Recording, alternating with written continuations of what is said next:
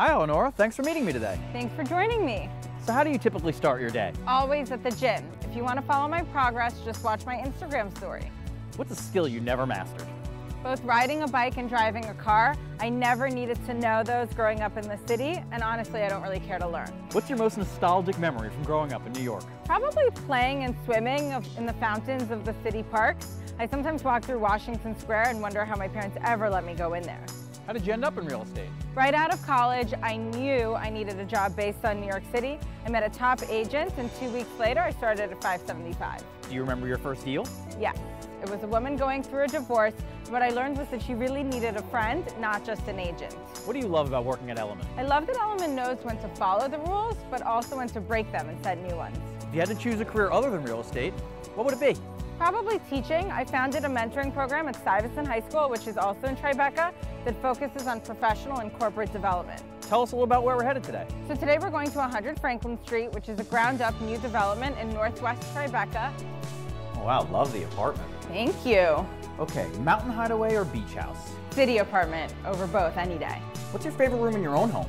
My master bedroom. I turned it into my closet and sleep in the secondary bedroom. What's the farthest you've ever been from home? Tokyo, both geographically and culturally. What's that place in the world where you always feel safe? TSA, airport security. Really? Yeah, I just love watching them open my bags and seeing the dogs and air marshals. Okay, what's one thing you can't live without? Music. Listen to it first thing in the morning and in between appointments. All right, so if you could go to any concert, past or present, what would it be? Definitely the Backstreet Boys. I have tickets to their 25 year anniversary tour and I can't wait. What excites you most about real estate? The ability to shape the city that I grew up in, but also to shape people's lives. I have to go meet a client now in Duane Park. Do you want to come? Yeah, let's do it. Great, let's go. When do you feel most confident? Definitely at work. What do you do on your days off? What days off? I work 24 7. How do you usually unwind? Take baths, a lot of them. Are there any TV shows you're hooked on right now? I'm actually more into the classics, so like The Sopranos or Seinfeld. How about a book you're reading?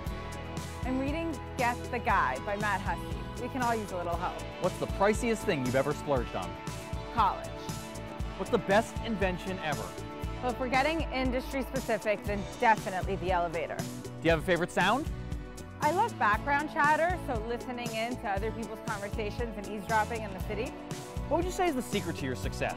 That I grew up here, I know the inventory better than anyone else. Can you share a piece of advice for new agents? Yeah, work really hard, never do nothing, and live and breathe real estate. Thanks, Eleanor. The neighborhood's great, the apartment's beautiful. I'm sold. What's the price? Make me an offer.